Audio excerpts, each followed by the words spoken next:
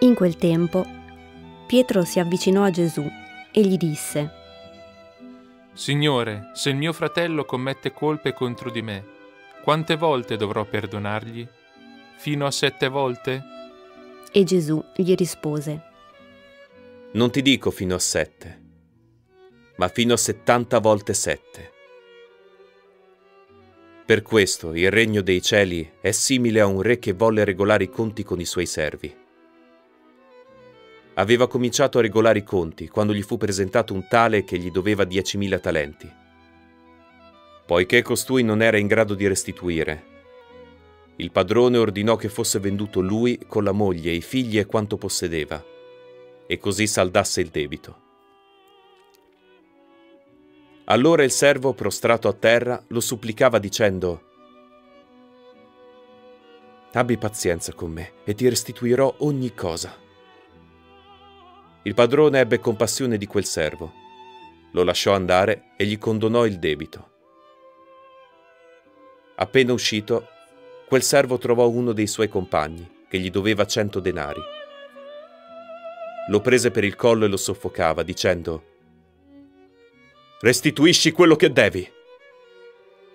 Il suo compagno, prostrato a terra, lo pregava dicendo, Abbi pazienza con me e ti restituirò.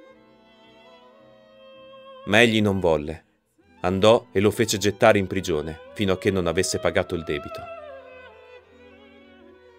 Visto quello che accadeva, i suoi compagni furono molto dispiaciuti e andarono a riferire al padrone tutto l'accaduto. Allora il padrone fece chiamare quell'uomo e gli disse, Servo malvagio, io ti ho condonato tutto quel debito perché tu mi hai pregato. Non dovevi anche tu aver pietà del tuo compagno, così come io ho avuto pietà di te? Sdegnato, il padrone lo diede in mano agli aguzzini, finché non avesse restituito tutto il dovuto. Così anche il Padre mio celeste farà con voi se non perdonerete di cuore, ciascuno al proprio fratello.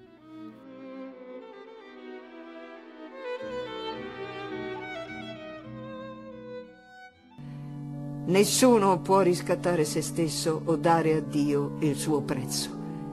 Per quanto si paghi il riscatto di una vita, non potrà mai bastare per vivere senza fine e non vedere la tomba. Pensate sia facile lasciarsi perdonare?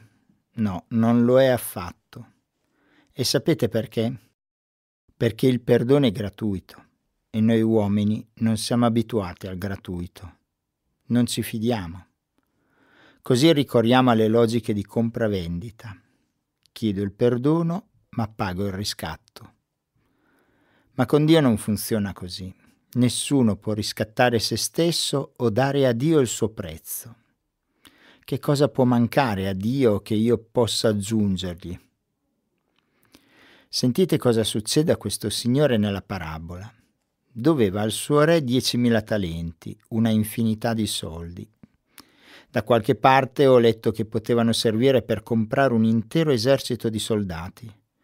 Qualcuno ha fatto il conto paragonandoli oggi a circa 50 milioni di euro.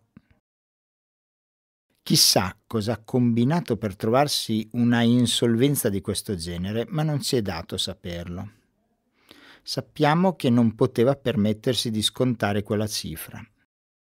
Allora va dal re e lo supplica. Abbi pazienza con me e ti restituirò ogni cosa. Attenti bene, dice proprio così, ti restituirò ogni cosa. Come gli salta in mente di promettere una cosa del genere? E comunque il re non se ne occupa della restituzione, da gran signore gli condona tutto. Ecco, gli condona tutto senza aggiungere altro, cioè non vuole altro. Quel condono è gratuito, solo frutto della compassione verso quel servo, un vero giubileo. Cosa avreste fatto voi nei panni di quel servo? Beh, io sarei andato alla locanda più vicina per brindare alla generosità del re. E invece lui no, va a cercare i debitori come lui. Vuole restituire il riscatto contabilizzato non dalla misericordia del re, ma dall'orgoglio di chi non sa farsi perdonare. e così finisce per creare male su male fino al punto di essere reietto dal suo stesso re.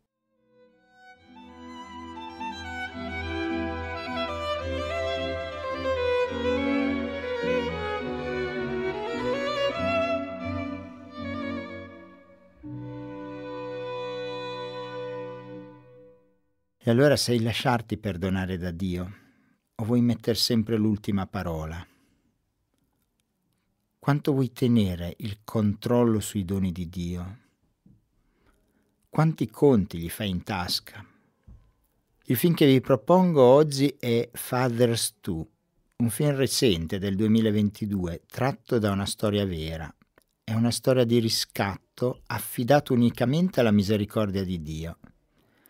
Cinematograficamente non è da 5 stelle, ma a mio parere fa riflettere molto ed è una bella testimonianza cristiana.